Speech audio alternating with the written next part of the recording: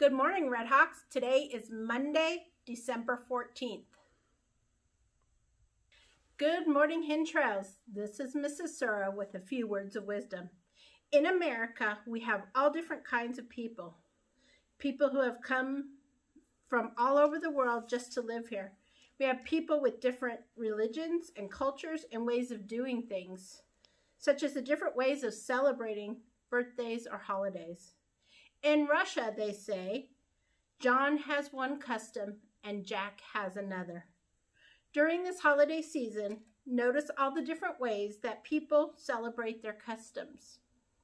For example, you may be celebrating Christmas, your neighbor may be celebrating Hanukkah.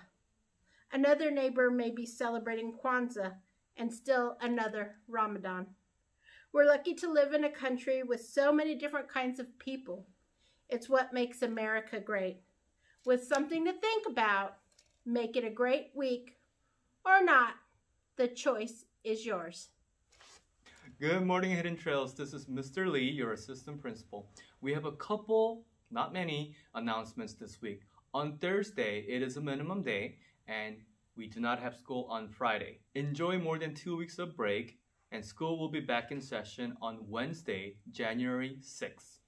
Remember, Redhawks, we always respect ourselves, respect others, and respect our school. Happy holidays!